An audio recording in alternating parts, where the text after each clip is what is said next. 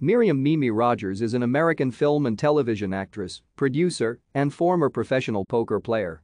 Her notable film roles include Gung Ho, Someone to Watch Over Me, and Desperate Hours.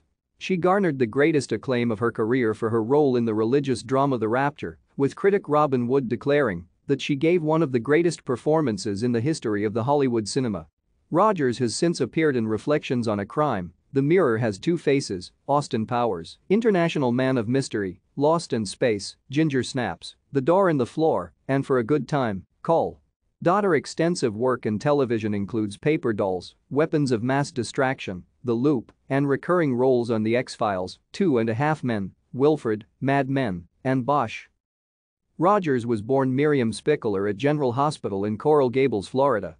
She is the daughter of Philip C. Spickler, a civil engineer, and Kathy Talent, a former dance and drama major. Rogers' father was Jewish, whereas her mother Episcopalian.